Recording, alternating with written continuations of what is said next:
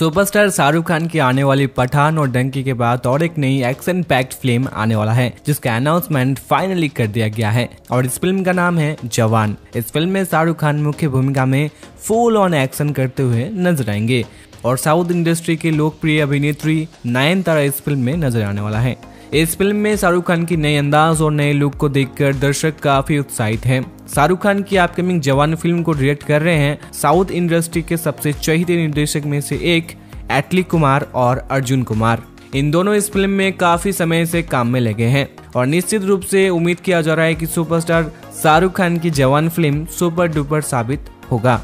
इस फ़िल्म में शाहरुख खान की ज़बरदस्त अंदाज और लुक को देखकर उम्मीद किया जा रहा है कि इस फ़िल्म में भरपूर एक्शन इस फ़िल्म में दिखाया जाएगा। और जल्दी ही ऑफिशियल की तरफ़ से इस फ़िल्म की ट्रेलर भी उम्मीद है कि जल्दी ही हम सभी को देखने को मिल जाए। और ये फ़िल्म अगले साल 2023 में रिलीज़ होने वाला है। बाकी आप लोगों का क्या ख्याल है शाहरुख खान के इस नए लुक के बारे में? और शाहरुख खान की इस जवान फ़िल्म क्या थिएटर में हिट साबित हो पाएगा? आप लोगों का क्या विचार है इस बारे में ज़रूर कमेंट करके बताएँ।